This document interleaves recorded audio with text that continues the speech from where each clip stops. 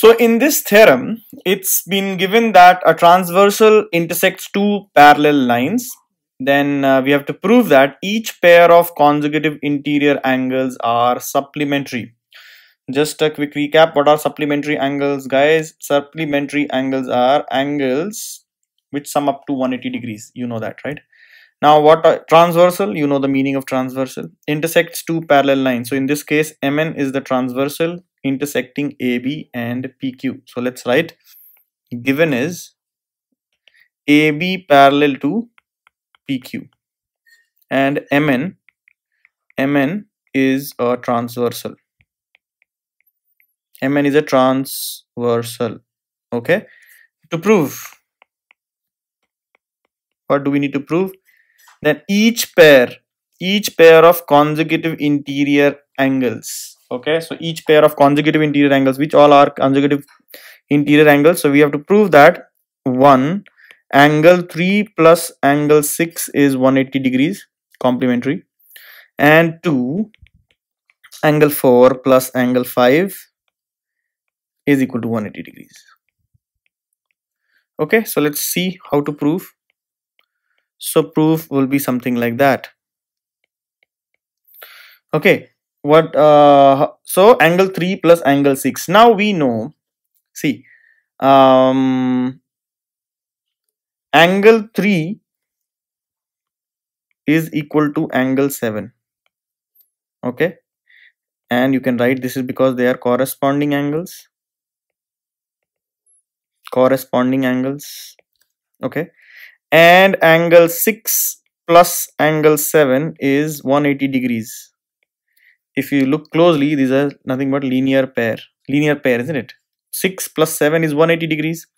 So you can say from 1 and 2 you can say from 1 and 2 what can I say?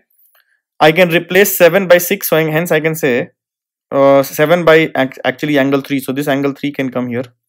And you can say angle 6 plus angle 3 is equal to 180 degrees. So first one is proved. This point is proved. Very simple proof. Now for the next pair again what can you say? You can say similarly angle similarly you can write similarly angle 4 uh, angle 1 is equal to angle 5 why? Corresponding angles again corresponding corresponding angles. This is number 3 let's say.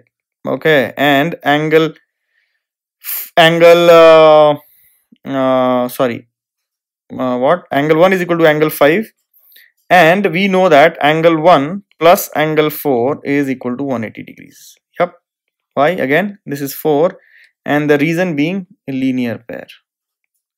Linear pair right so now done from from 3 and 4 we can say angle 5 plus angle 4 is 180 degrees. And this is the second proof. Hence proved correct? So hence we saw we saw that the interior pair of in, uh, consecutive interior angles are supplementary right pair of consecutive interior angles are supplementary. So 4 plus 5 is 180 and 3 plus 6 is 180. Fair enough. Now let's go to the converse of this. Now the converse statement is something like that. If a transversal inter intersects two lines in such a way that a pair of consecutive interior angles are supplementary, then the two lines are parallel. So hence you can start the proof by saying given. What's given guys? So given is chorus, you know, consecutive interior angles are supplementary. This is given that means let's say angle 3 plus angle 6 is 180 degrees. Angle 3 plus angle 6 is 180 degrees. Okay, to prove, you can also take 4 and 5, doesn't really matter, the proof will be similar. To prove AB is parallel to PQ. In the previous theorem, AB was given to be equal to PQ and we had to prove that angle 3 plus 6 is 180, 180 degrees. So in this theorem, it is the other way around. Angle 3 plus 6 is given as 180 degrees. Prove that AB is parallel to PQ. Okay, let's see how to prove this.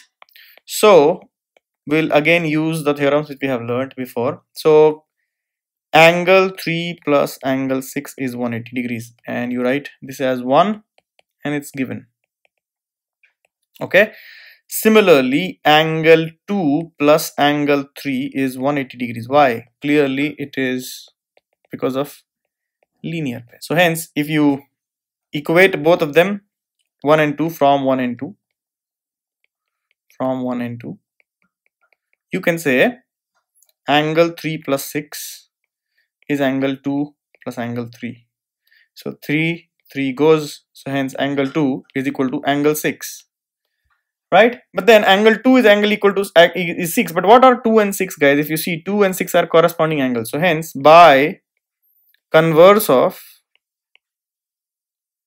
converse of corresponding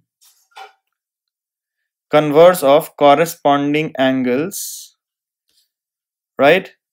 AB is parallel to PQ hence proved. Because converse of axiom corresponding angles axiom said which is um, axiom says that if corresponding angles are equal then the lines are parallel. So hence proved. So hence the converse of the given theorem is also proved